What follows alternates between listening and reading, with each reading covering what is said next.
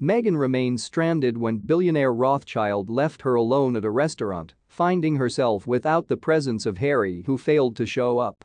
Rumor has it that Meghan Markle is seeking to reinvent herself, drawing inspiration from Madonna's transformation.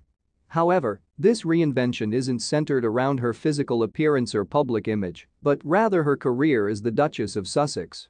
Meg aspires to be acknowledged as one of the world's greatest philanthropists.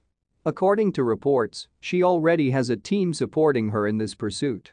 Furthermore, Meghan dreams of becoming the next Oprah Winfrey or even following in the footsteps of the Obamas, especially in terms of their philanthropic endeavors.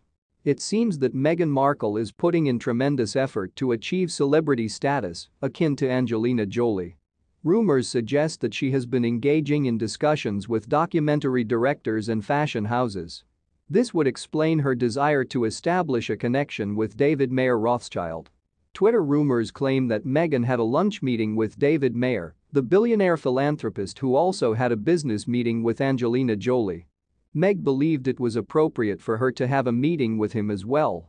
However, she was under the impression that Harry would accompany them. When Meghan discovered that Harry wouldn't be joining, David Rothschild excused himself and left her alone. This behavior of actively pursuing wealthy individuals is rather embarrassing and highlights her struggle to gain recognition. Unfortunately, she understands that people are more interested in Harry's presence rather than her own, which may explain her reliance on him.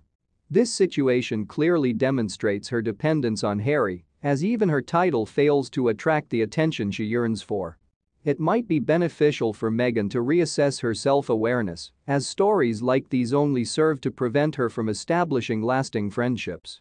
David Mayer de Rothschild, a British adventurer, ecologist, and environmentalist, boasts a net worth of $1 billion. He is the youngest heir to his family's banking fortune. In 2007, Rothschild was honored as one of GQ's Men of the Year the United Nations Environment Programme recognized him as a climate hero in 2009. David's father, Amschel Rothschild, acted as the late Queen Elizabeth's personal financial advisor.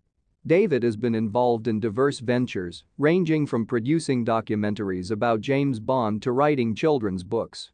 Perhaps Meghan sees common ground between their shared interests as authors and envisions a collaboration on a serious documentary aiming to mirror the trajectory of the Obamas and rebuild trust in her personal brand. It is crucial, however, to carefully evaluate the credibility of such information. Regarding their initial lunch meeting, it remains unclear what actually occurred. Did Meghan offer him a roasted chicken? Many men have come to realize that Meghan attempts to impress them through charming acts, but they now understand her idiosyncrasies, making them less susceptible to falling for her ploy of advancing a relationship. Meghan Markle seemingly believes that just because she succeeded in marrying a prince, she can effortlessly charm a billionaire into marriage.